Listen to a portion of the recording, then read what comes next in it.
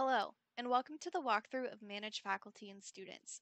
Previously listed as User Dashboard, Manage Faculty and Students is where you will have access to manage your faculty and students within your subscription, as well as bulk import users and students, which is covered in another video.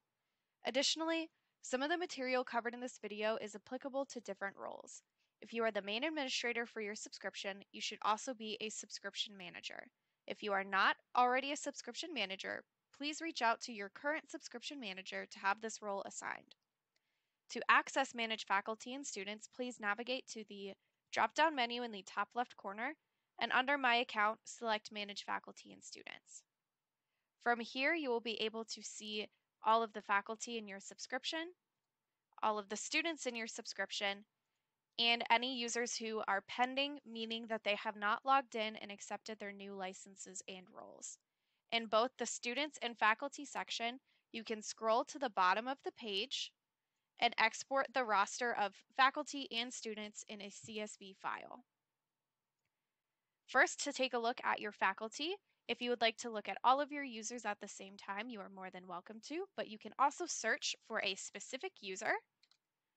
And from here, you will be able to see their basic information of their name and email, their organization, their licensed solutions, what grade bands they have listed, their roles, who they report to, as well as the date of their last login.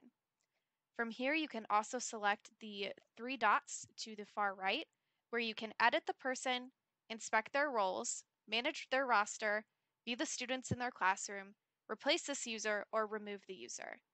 We're going to take a look at a few of these key action items, and the first one we're going to look at is Edit Person.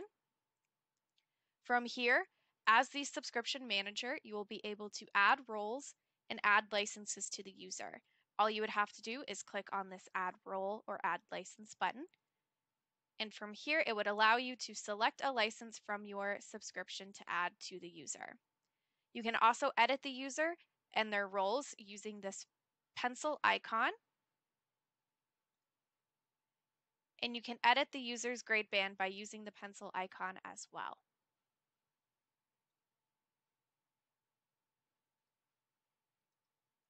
You can also replace the user. This is a key feature for if you have any users who are going to be, for example, out for an extended period of time who might need a substitute to oversee their classroom. You can also manage the classroom roster. From here, as the subscription manager and administrator, you will have access to add students into this classroom, manage the seating of students in the classroom, meaning what solutions they are seated in, as you can see up here in the top right. You can move a specific student if you select the student, and you can drop the student from this classroom. Moving students and dropping students from classrooms allows them to be added into a different classroom. Moving the student adds them directly into another user in your subscription's classroom, and dropping the student allows them to be open in your subscription to be picked up by another teacher all of the student's information will still remain the same with the student, whether they are moved or dropped. From here, you can also view the students in this user's classroom, which takes you over to the Students tab.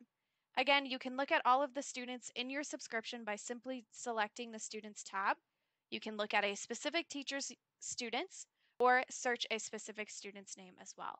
But to look at this teacher's classroom, we have the student's basic information of their name, the student ID, the status of the student on whether or not they are seated in a classroom or dropped in the subscription, their level of differentiation based off of their student profile, their login method, solutions they're seated in, their assigned grade level, and corresponding grade band, the date that the student was created, and the date that the student was dropped, if applicable, and the last completed profile date for the student.